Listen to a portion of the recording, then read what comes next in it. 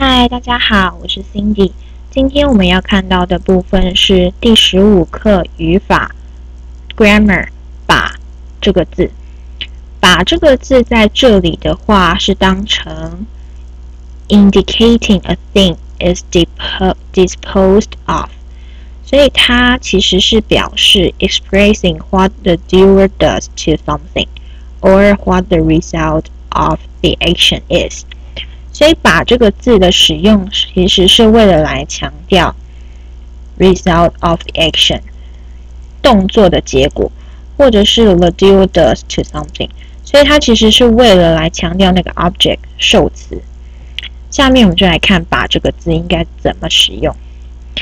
好，所以我们通常以前教过的都是主词 subject 加上动词 verb，最后加上 object，但是在这里，我刚刚说了，因为把其实是为了来强调那个动作的结果，所以动作的结果就是我们的 object，所以它会把 object 往前提，所以你可以看到 object 先，接下来是 verb，所以是把加上 object 加上 verb。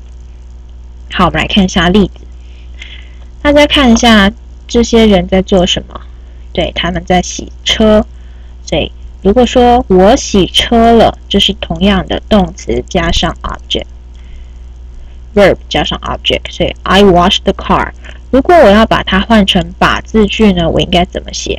大家想想看，没有错，很简单的，加上把，然后把 object 往前提，所以是我把车洗了。同样的，下面的例子。这个人他打开窗户，所以我打开窗户，I open the window。所以同样的，如果我要加上“把”这个字呢，我应该是说我把窗户打开，所以把窗户打开，把原本放在后面的 object 往前踢，然后加上“把”这个字。这样的话，“把”这个字的使用，大家有问题吗？下面我们来听一首歌，这首歌叫做《你把我灌醉》，所以同样的，我就是 object，你是 subject，加上把后面加上动词，You make me drunk。好，那我们来听一下这首歌，学一下它怎么使用这句话。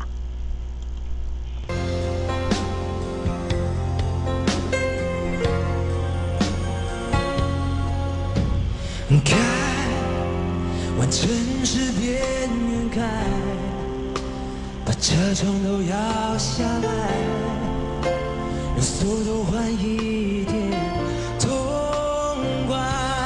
孤单被热闹的夜赶出来，却无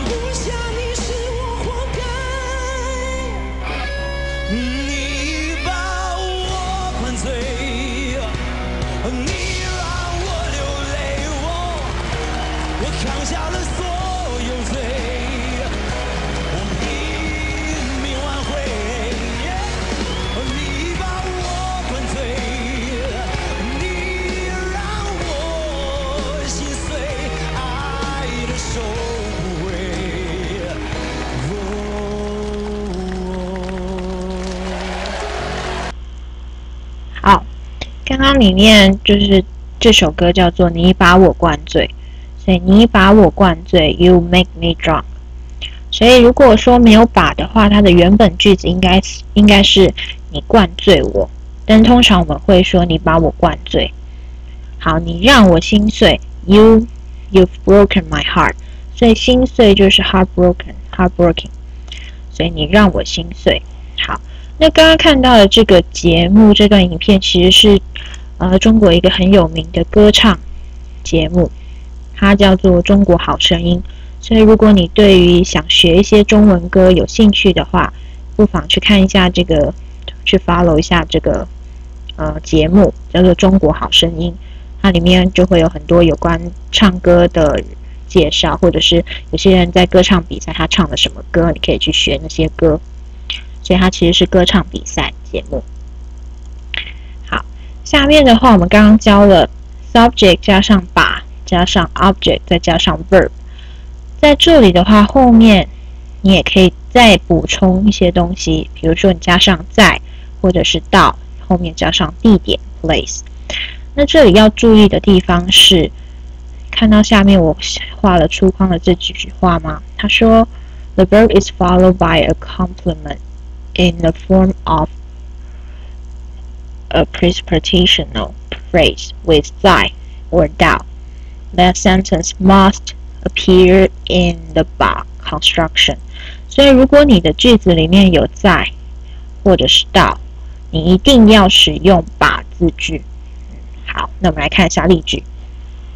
看到这张图了吗？这个人手上握着一支笔，然后他好像要 笔放在桌上，所以他把笔放在桌上。好，所以如果说有到这个字或者是在这个字，你一定要用把这个字。所以他把笔放到桌上，或是他把笔放在桌上。好，下面的话。好，我画了一个叉叉，代表不是这样子的，所以要否定的句子。这边有书包，书包是怎么样挂在窗户上？所以他没把书包挂在窗户上。He didn't hang the bag on the window。所以没有把书包放在挂在窗户上。所以同样的，有在这个字，一定要使用把这个字的句子。那如果你要否定的话，记得就像这个例句一样，要把否定词没放在把的前面。他没把，他没有把。好，下面我们来看一下课文例句。你把蛋糕放在哪儿了？所以同样的有在这个字，所以必须要用把字句，把 sentence。所以把蛋糕放在哪儿了？Where did you put the cake？好，放在冰箱里了。那这句话它其实前面省略了，我把蛋糕放在冰箱里了，同样的也有再出现，所以把蛋糕放在冰箱里。I put the cake in the fridge in the refrigerator。好，下面的复习时间的话，请大家看完下面这段影片，试着用把 sentence 描述里面这个人，或者是里面有一些什么动作，用把这个字。来写句子，比如说，等一下你会看到他把门打开，she opened the door。里面他做了很多动作，那大家看完之后，请试着边边把他做的动作用把字句把 sentence 写下来。好，那我们就来看一下这段影片。